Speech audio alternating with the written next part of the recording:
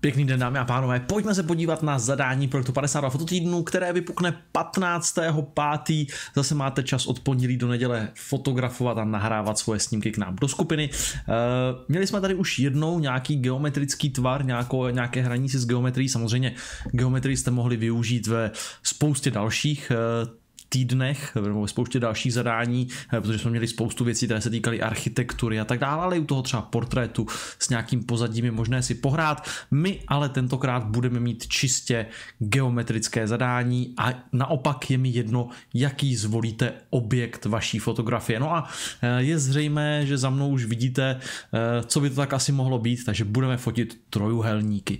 Trojuhelníky velmi dobrou šanci eh, toho, kde je najít, tak bude zase nějaká ta architektura. Nikdo neříká, že to musí být jeden trouhelník, měl by to být ten Mm, řekněme, hlavní objekt, to znamená, nechtěl bych, aby bylo třeba trouhelníkové pozadí. Opravdu, eh, stejně tak, jak když si vzpomenete, tak před nějakými deseti týdny jsme měli eh, téma koule, kde jsem chtěl, aby opravdu ten kruh, nebo ta kružnice, nebo ta koule byla to hlavní na tom snímku, aby to byl ten hlavní objekt.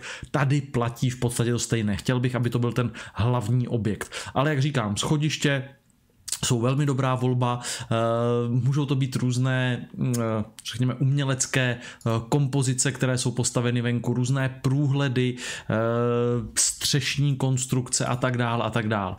Samozřejmě nemusíte se zaměřovat na to, co je vidět, ale můžete si hrát třeba se stíny, se světly, nějakým způsobem vytvořit ten průhled, použít trouhelníkový průhled jako ten hlavní objekt Tady je to třeba hezky vidět, jsou různé tady takovéhle, eh, řekněme, eh, ulice nebo průchody, eh, které najdete v Praze, v Brně nebo na různých místech v zahraničí samozřejmě.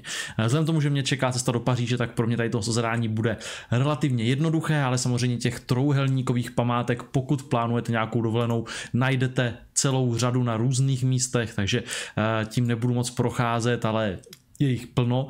Eh, samozřejmě najdete nějaké trouhelníky i v přírodě, eh, možná nějaké horské štíty, něco takového. Eh, přemýšlím, co v Evropě, Matterhorn možná, to je takový, takový téměř trouhelníkový vrchol z určitého úhlu.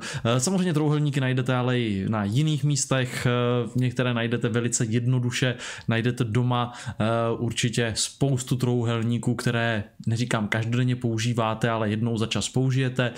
No a potom samozřejmě můžete nějak předměty kombinovat, dovedu si představit štafle. Eh, zase, nechtěl bych, aby to bylo čistě o tom trouhelníku v tomhle případě, eh, měl by se tam něco odehrávat, něco zajímavého.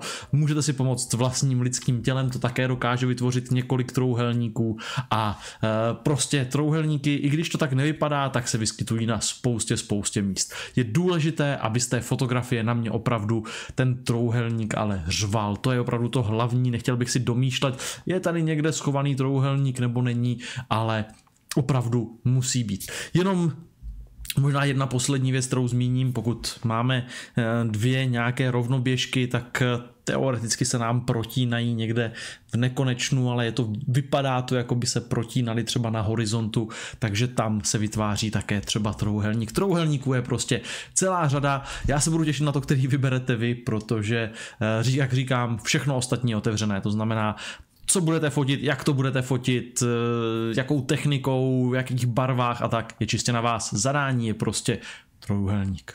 Ať se vám daří.